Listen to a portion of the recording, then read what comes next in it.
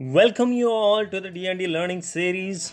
And as we have promised we are here to give the more information regarding our tinkering labs. What are those and uh, what are the components that we are having in it? How to make use of them to develop the beautiful projects? How to just teach the students or how to make the students to get more interest towards the Atal Tinkering Lab? These are all the information that we are going to share. But this is the first video which was very much required to make the students as well as the teachers to be aware about what is tinkering lab. And how beautiful it is and how it is going to impact our most of the socio-economic things uh, not only the socio-economic as well as our, whatever the environment that we are having in our school it is going to get changed completely. If you just take this tinkering lab as a part of our curriculum as a part of our syllabus. So first of all let us see what is atal tinkering lab and how it got started with so, uh, the Atal Innovation Mission is a flagship initiative set up by the Niti Aayog to promote innovation and entrepreneurship skill across the country based on a detailed study and deliberations on innovation and entrepreneurs needs of India in the years to come. That means when uh, the actually if you see the idea behind or what is the need what actually the government of India or the Niti Aayog felt that a tinkering lab or any kind of a lab which will assist the students to have these kind of a skills that is the entrepreneurship and the innovation skills. Because when the government came up with an idea of make in india so you people might be aware about that. So the make in india the purpose behind the make in india is that more number of things that should get innovate uh, that should get uh, manufactured in india so that uh, we will get more number of employment our economy will improve and uh, those were the many good projections that way we are having during that time.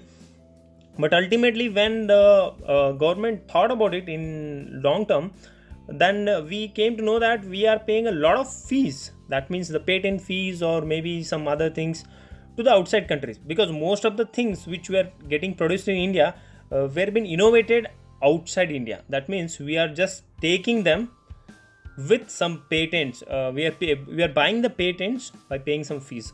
So that is not going to work in long term. So if you want to make a sustainable development, if you want to have the very good economy, you should have something of your own. So that is when uh, this idea of having the tinkering lab emerged. So along with make in india we have to innovate in india. So not only to make but first innovate and then make in india. So that was the uh, story how the tinkering lab started. So initially they gave some few schools like 200 then once again then 200 250 then 1500 then 3000 then 6000 and once again now around 3000 so there are around 15000 schools they are declared and uh, more than 7 8000 schools are having the lab in india and they are working on it. So the most important thing is that how it is beneficial and what are the benefits that we are going to have through this. So let us have a look at it. So first thing is that it is going to get develop entrepreneurship skill. So uh, so what is that entrepreneurship? So you may be knowing you may be knowing the terms like uh, businessman. Okay so businessman. So what is this entrepreneur or what is this entrepreneurship so, entrepreneurship is the activity of setting up a business or businesses taking on financial risk in the hope of profit. So, uh, most of the actually someone if uh, someone is starting a new business, then you can call him as a entrepreneur because he is not knowing whether that business will sustain or not. So, that kind of a system is called as entrepreneurship. So, that skill we wanted to develop among the student or we can call it as or we, we wanted to have the student entrepreneur. That means if someone is good at their projects they why can't they start the business at the age of uh, 13 14 or 15 because business is a business. There is no any age limit for it. So that was the main benefit. And uh, if some students or someone if they make some business plan or if they make some entrepreneurship uh, trial or if they go for the entrepreneurship they can create a lot of employment they can create a lot of employment as well as that is going to assist our economy. Because see everyone is seeking they everyone is job seeker. No one is here to offer a job. No one is no one wanted to become an employer everyone want to become a become an employee. So that mindset how to be changed. So that is going to help here. Uh, that is going to help our economy and strengthen the currency. So that was about the benefits in general so let's come to the point. Like that means in this system Atal tinkering lab there are two parts. One is student another is a teacher or a mentor who is going to guide all the students. So let us see about these two main important factors. Students. So how it is going to benefit the students? First thing is that the student who are maybe most of the time are not capable to take their own decisions. Uh, most of the times their decisions are being forced by the parents or sometimes it be it has been like influenced by the decision of his friend.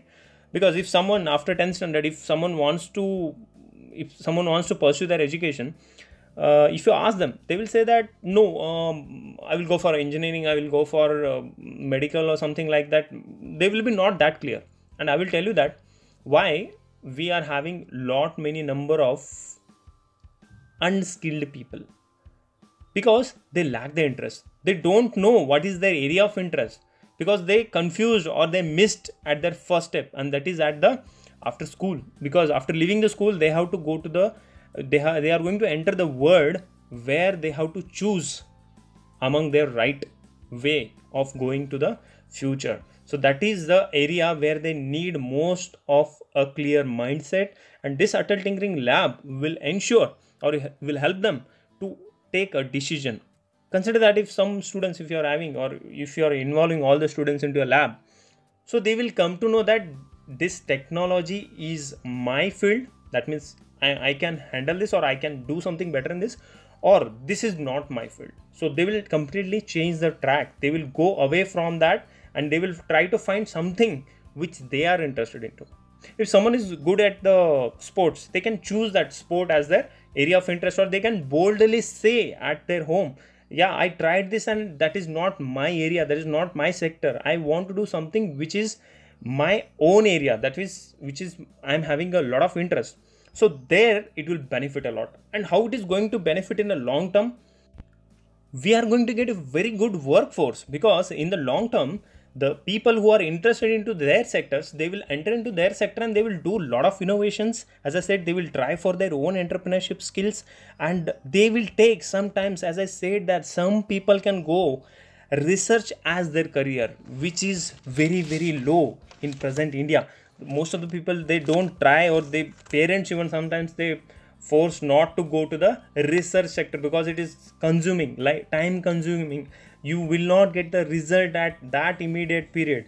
So that is what the area is needed and how the students can go into that with a full confidence. That's up to the students. Uh, there are even more benefits also that's up to the different different uh, way of thinking. That is i'm putting here what are the thoughts i'm having.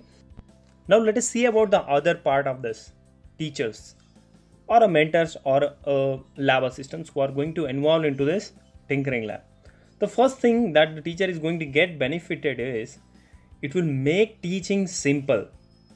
Because the teachers can deliver the lectures as very good manner because they are having a more practical approach than the theoretical. Now they will be getting more beautiful ideas how they can show some models during their classes if they are involving the ATL lab into their teaching part. One more thing is that the bonding between students and the teacher will improve. Because now what happens? During normal classes you will be having a hardly 30 to 40 minutes of engagement with the students and that will not give you that good bonding with the students. But in the class you will be having more restrictions where students will not be having that open mind or they will not be able to have that freeness to discuss their own interested topic with you. But in the tinkering lab it is going to help them to discuss the topics at their own fashion they will come up with some new ideas and they will open up their minds. Okay so that all for the Atal tinkering lab. These what are the opinions i have put in front of you those are all my personal opinions. Your opinions can be different from this or better or you are having some different way of approach towards the tinkering lab. You can share all of those into our description we will definitely appreciate your inputs regarding this i hope that all of you will be a part of this new movement or new era which is going to come up in the future we will prosper 100% with this Atal Tinkering Lab. Participate in Learn Number, make this program a successful event. It will really help you in the future. We request you to keep learning, keep tinkering. Please do watch the entire series for more information regarding the Atal Tinkering Lab. Hope you enjoyed the video. There are many videos regarding the Tinkering Lab there in our channel Please do encourage us by subscribing our channel and also suggestions or any remarks or any doubts please do in the comment box. Keep learning, keep tinkering.